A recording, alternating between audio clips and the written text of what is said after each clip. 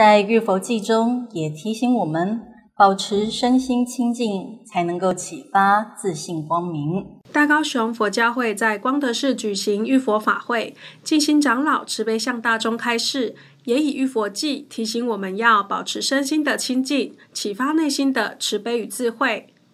因为在我们高雄地区，大概有这么大的场所，应该只有我们广州市，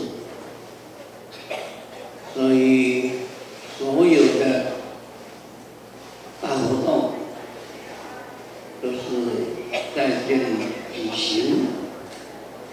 由于在这里举行这么多的大活动，所以广州市呢，也增加了光辉。在这里虔诚的心，啊，非常欢迎大家。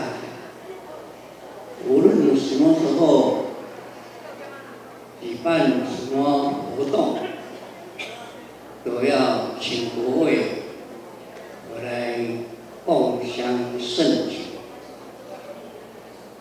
我们在义府的时候有一个义府剧，就是我今灌木而来，印地庄严黄德海，普度众生于成故，弘正如来正法性。